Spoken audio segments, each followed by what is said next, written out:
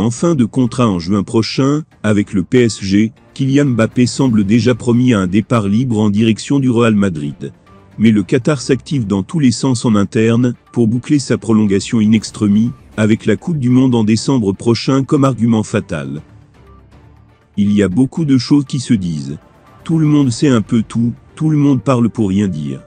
La vérité, c'est que j'étais concentré pour aider l'équipe, lâchait sèchement Kylian Mbappé mardi soir au micro de RMC Sport après sa prestation XXL, avec le PSG face au Real Madrid, un but à zéro, en huitième de finale allée de la Ligue des Champions. L'attaquant français continue donc de brouiller les pistes dans sa communication quant à son avenir, lui qui arrivera pourtant au terme de son contrat à l'issue de la saison.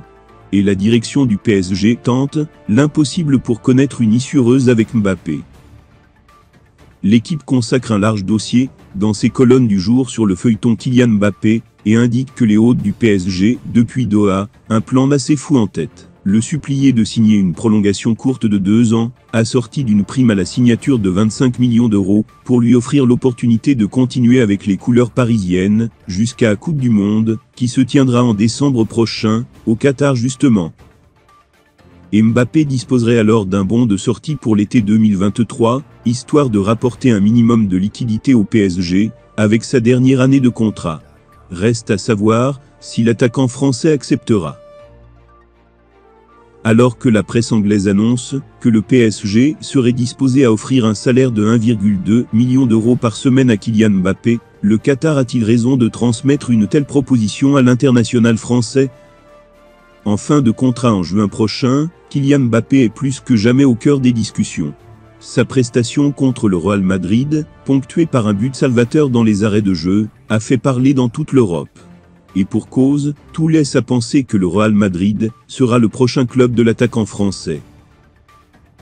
Malgré tout, conscient de la dimension prise par Kylian Mbappé, le PSG semble prêt à tout pour convaincre son attaquant de prolonger au moins sur un contrat de courte durée. Mais est-ce la bonne solution? Selon les informations de The Independent, le PSG aurait dégainé une offre légendaire pour convaincre Kylian Mbappé avec à la clé un salaire de 1,2 million d'euros par semaine.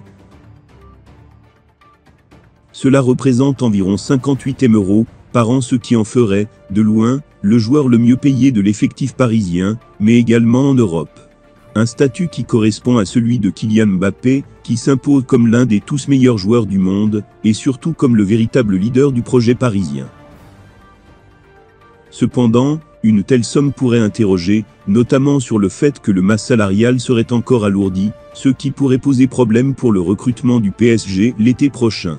Tout miser sur Mbappé, ou le laisser filer en reconstruisant l'effectif, c'est la question que doit se poser le PSG.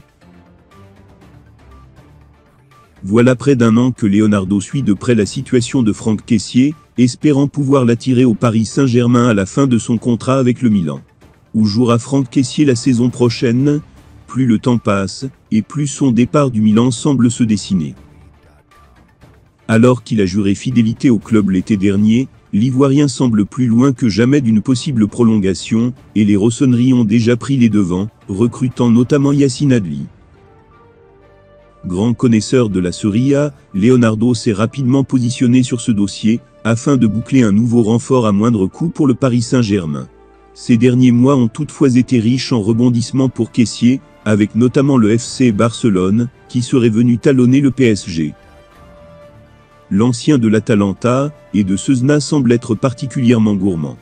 D'après les informations de Ski Sport Italia, Franck Caissier aurait fait savoir par le biais de son agent que tout club voulant le recruter devra aligner un salaire annuel de 9 millions d'euros par minimum. C'est plus que les 8 millions d'euros qu'il demandait jusque-là. En 2006, Arsenal quittait son stade mythique d'Igbury pour aller s'installer dans un stade des plus modernes pour l'époque, l'Emirates Stadium. Plus de 15 ans après, le stade de 60 000 places ressent le poids des années. Afin de mettre fin à l'usure générale et aux fuites du toit, la direction des Gunnets aurait décidé de passer à l'action, avec des travaux dans les prochains mois, malgré la crise économique qui touche le club.